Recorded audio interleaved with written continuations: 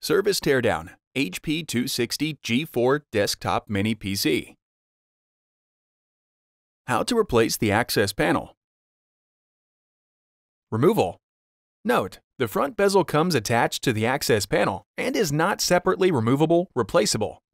Loosen the T15 captive thumb screw on the rear of the chassis. Firmly slide the panel toward the front of the unit to disengage it from the chassis. Lift the panel off the chassis. Replacement. Align the tabs with the slots in the chassis and lower the access panel into position on the chassis.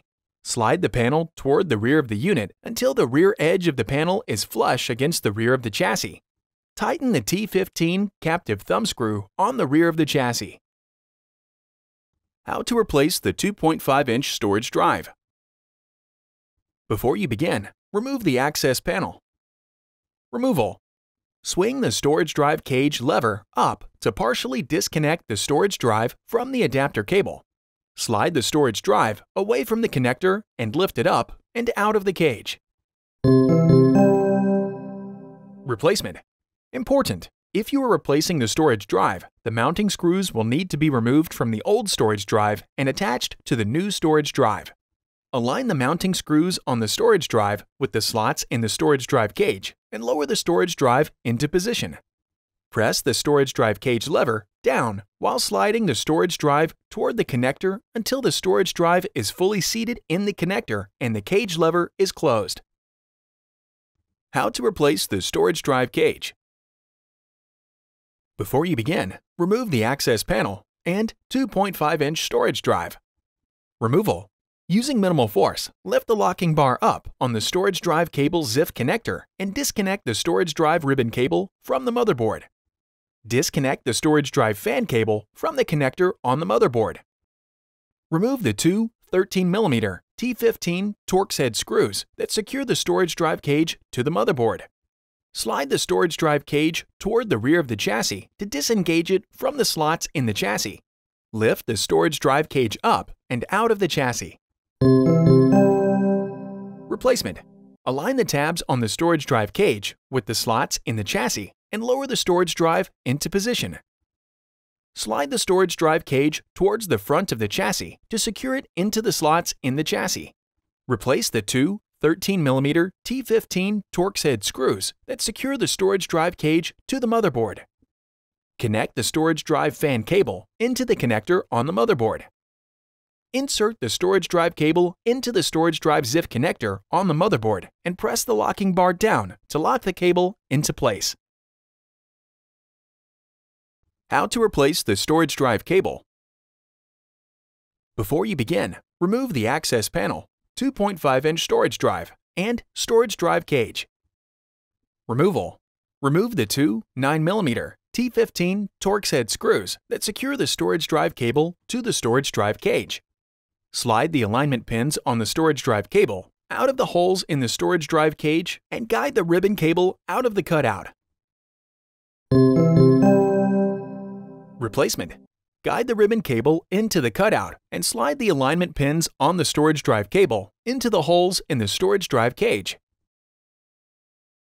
Replace the two 9mm T15 Torx head screws that secure the storage drive cable to the storage drive cage. How to replace the memory module. Before you begin, remove the access panel. Removal. Swing up the system fan. Push both arms outward simultaneously to release the memory module to the spring tension position. Grasp the memory module by the edges and pull gently to remove it. Replacement. Align the notch in the memory module with the key in the memory module slot on the motherboard. At an angle, gently insert the memory module into its slot on the motherboard. Press the memory module down to latch the arms. Swing down the system fan. How to replace the system fan. Before you begin, remove the access panel. Removal. Important. Make careful note of the routing of the fan cable for later replacement. Remove the system fan cable from the routing channel on the heatsink. Swing up the system fan. Disconnect the system fan cable from the connector on the motherboard. Slide the system fan posts out of the cutouts in the chassis and heatsink and remove. Replacement. Slide the system fan posts into the slots in the chassis and heatsink. Connect the system fan cable into the connector on the motherboard. Swing down the system fan. Route the fan connector through the routing channel on the heatsink. How to replace the speaker. Before you begin, remove the access panel. Removal. Disconnect the speaker cable from the connector on the motherboard. Slide the rubber posts on the speaker out of the cutouts in the chassis and remove. Replacement. Slide the rubber posts on the speaker into the slots in the chassis. Connect the speaker cable into the connector on the motherboard. How to replace the upper option board. Before you begin, remove the access panel. Removal disconnect the option board cable from the connector on the option board. Remove the two 4mm P1 Phillips head screws that secure the option board to the chassis. Lift the option board straight up and out of the chassis and remove. Replacement. Tow the tab on the option board into the slot in the chassis and place the option board into position. Replace the two 4mm P1 Phillips head screws that secure the option board to the chassis. Connect the option board cable into the connector on the option board. How to replace the wireless LAN module. Before you begin, remove the access panel, 2.5-inch storage drive, and storage drive cage. Removal. Caution, Use care when disconnecting the wireless LAN antenna cables from the wireless LAN module. A damaged cable or connector can degrade performance. Carefully disconnect the wireless LAN antenna cables from the wireless LAN module by grasping the connectors with a small pair of needle nose pliers or tweezers. Remove the 4mm P1 Phillips head screw that secures the wireless LAN module to the motherboard and allow it to release to the spring tension position. Grasp the wireless LAN module by the edges and pull gently to remove it from the slot on the motherboard. Replacement. Align the notch in the wireless LAN module with the key in the wireless LAN module slot on the motherboard. At an angle, gently insert the wireless LAN module into the slot on the motherboard. Replace the 4mm P1 Phillips head screw that secures the wireless LAN module to the motherboard. Reconnect the wireless LAN antenna cables to the wireless LAN module.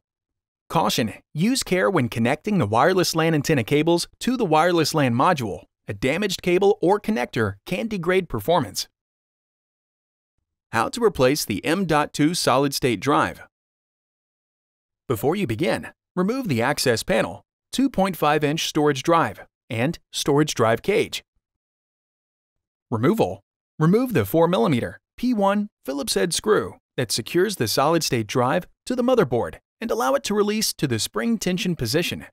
Grasp the solid-state drive by the edges and pull gently to remove it from the slot on the motherboard. Replacement. Align the notch in the solid-state drive with the key in the solid-state drive slot on the motherboard. At an angle, gently insert the solid-state drive into its slot on the motherboard. Replace the 4mm P1 Phillips head screw that secures the solid-state drive to the motherboard. How to replace the CMOS battery.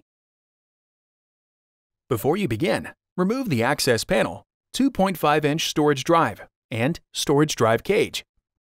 Removal.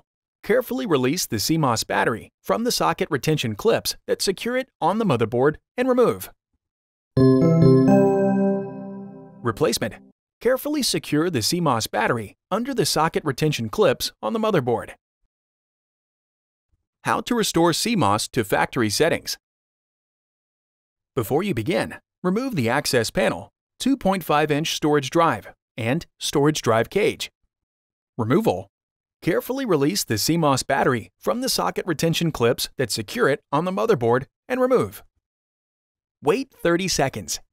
Carefully secure the CMOS battery under the socket retention clips on the motherboard.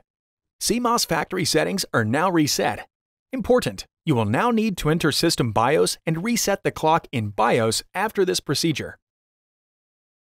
How to replace the heatsink. Before you begin, remove the access panel, 2.5-inch storage drive, storage drive cage, and fan. Removal.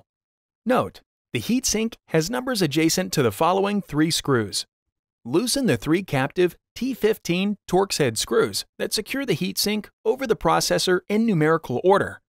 Note, due to the adhesive quality of the thermal grease and thermal pads located between the heatsink and processor components, it may be necessary to move the heatsink from side to side to detach it from the motherboard.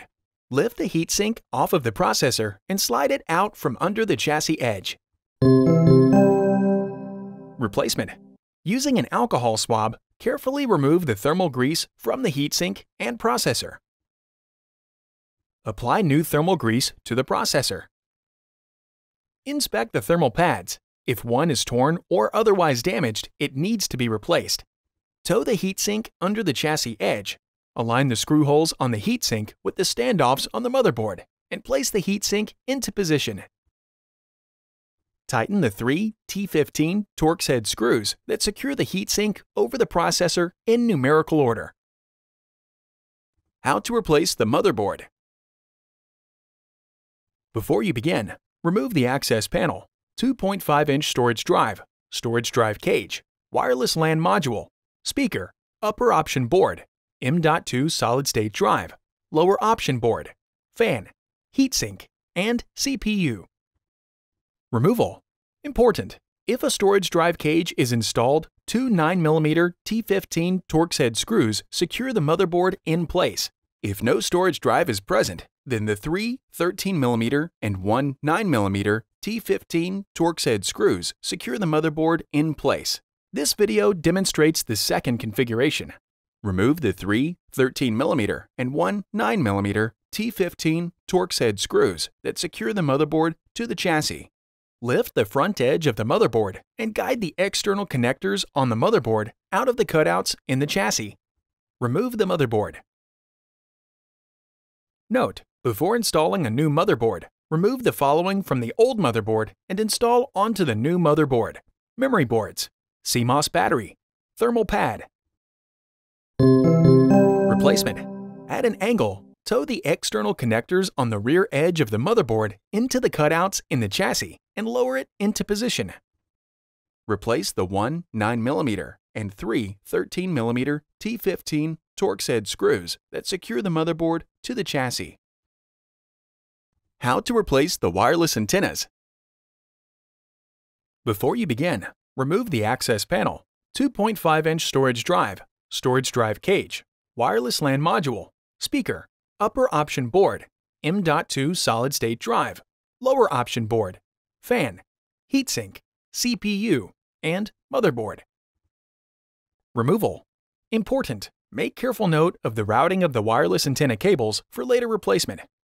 Remove the wireless antenna cables from the routing clips on the chassis.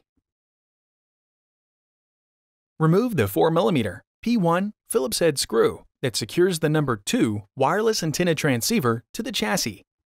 Slide the number 2 wireless antenna transceiver to the right to release the tabs from the cutouts in the chassis. Guide the number 2 wireless antenna cable out of the cutout in the chassis and remove. Remove the 4mm P1 Phillips head screw that secures the number 1 wireless antenna transceiver to the chassis. Slide the number 1 wireless antenna transceiver to the right to release the tabs from the cutouts in the chassis. Guide the number 1 wireless antenna cable out of the cutout in the chassis and remove. Replacement. Guide the number 1 wireless antenna cable into the cutout in the chassis and use the retention clips on the wireless antenna transceiver to secure it to the chassis. Replace the 4mm P1 Phillips head screw that secures the number 1 wireless antenna transceiver to the chassis. Guide the number 2 wireless antenna cable into the cutout in the chassis and use the retention clips on the wireless antenna transceiver to secure it to the chassis. Replace the 4mm P1 Phillips head screw that secures the number 2 wireless antenna transceiver to the chassis. Guide the wireless antenna cables through the routing clips on the chassis